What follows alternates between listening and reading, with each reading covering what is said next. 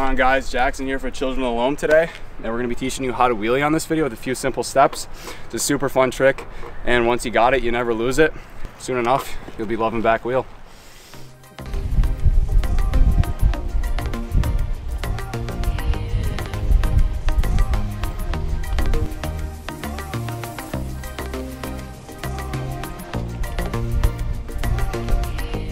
All right guys, so before we start, there's a couple things you can do on your bike to make this a lot easier for you.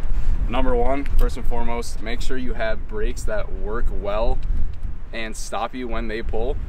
Number two, have your seat at a position somewhere between climbing and fully slammed, anywhere moderate will do. The higher it is, the harder it is to balance, but easier it is to get the front wheel up. And select a gear that you would be comfortable pedaling on a slight uphill in. That just helps you get the front end up pretty easily. So somewhere just kind of middle of the block, just a nice easy gear, not too hard, not too easy.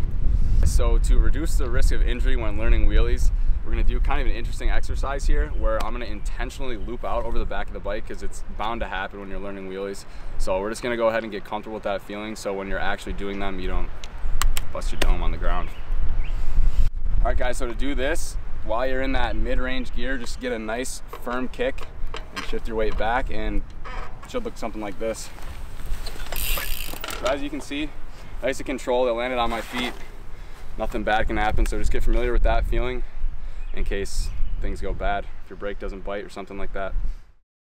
All right guys, so the first step of wheelie is obviously getting your front wheel into the air.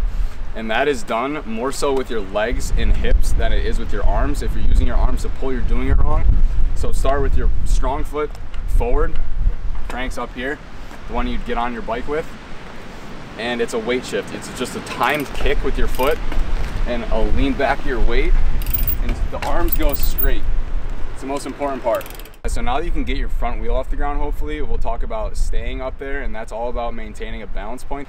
And you're gonna do that by putting strokes down through your pedals to keep the front wheel up. And if you start to loop out the back or feel like you're going too far backwards, just grab that brake and it'll bring your front end right down. You can see like this.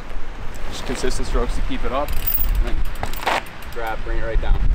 All right guys, so once you're comfortable with the forward backward balance and the brake control, we'll talk about side to side balance. This is done with your knees and your hips, a little bit upper body, but mostly knees and hips. So say you start leaning this way, you're gonna wanna open up this leg and that'll bring your weight this way and keep you balanced. And it's kind of just a game of give and take like that. And once you figure that out, along with brake control, you can pretty much do a wheelie as long as you can keep the front wheel up once you are comfortable maintaining that front wheel and having that balance point work for you, it helps a lot to look where you're going. That just kind of keeps you balanced and just kind of gives you somewhere to aim for, you know? Also, a great spot to practice wheelies is a parking lot like this where there are lines that you can shoot for and then it's quantifiable improvement and that's always fun to see as you work through this. I hope you enjoyed that video. Hope you found it helpful. And remember, this stuff takes time, so don't expect to go out and get this in a day. It takes a lot of repetitions and practice, but once you get it, it'll be worth it in the end. If there's any questions you have, anything you think I left out, please feel free to leave a comment and give the video a like. And if you don't subscribe already, appreciate a lot if you did that. Peace.